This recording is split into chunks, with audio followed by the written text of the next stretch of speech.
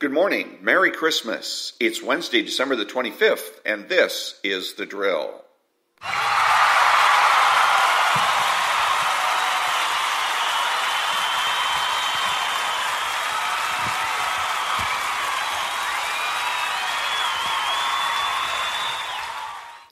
Thank you. I'm Ron, your host and the only true conservative in the United States today. I'm a Desert Storm era veteran with an associate's degree, a Christian, and a registered independent. My podcast is made available through Spreaker, and I can be heard on iTunes, Spotify, Google, and YouTube. So, you think you're, that you're a conservative? Do you consider yourself an environmentalist? Do you think of yourself as a leader or a change agent? Do you believe in exceptions, middle ground, compromise? Then you are not a conservative. Today, impeachment, lefties are not your friend, and calamities. All that when I come back.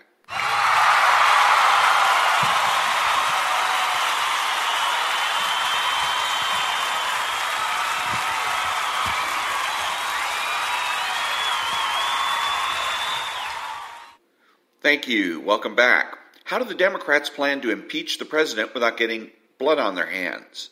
Simple. By describing events so as to make impeachment seem like something that the president is doing to himself, or even something that is being done to the Democrats. For instance, the Democrats may tell you that President Trump brought this on himself. The key for conservatives is to counter those descriptions with reality. Be explicit, don't use metaphors. The president is not impeaching himself, the Democrats are impeaching the president. Remind the lefties in your life of what's real when they try to use euphemisms.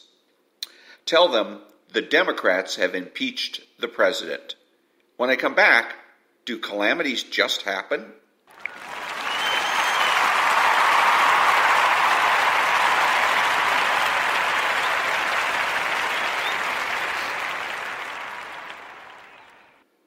Thank you, thank you. Do events really happen without warning and spontaneously, or is it an agent or agency that creates events?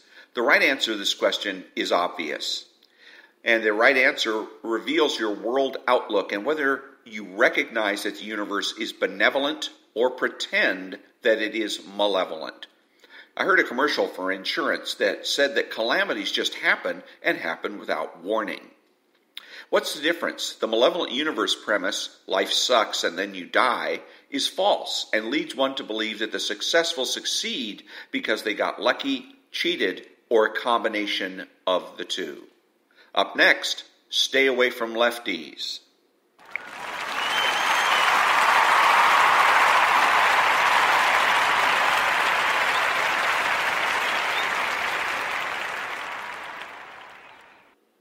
Thank you very much. Stay away from lefties, and by that I mean they're not your friends.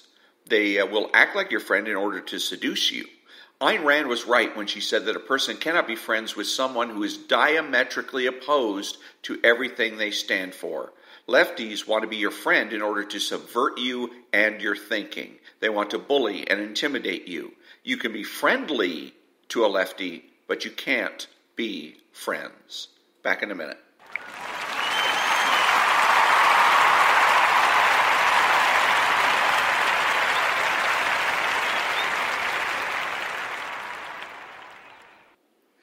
In conclusion, the president didn't impeach himself. Calamities don't just happen, they are made to happen, and the left is not your friend.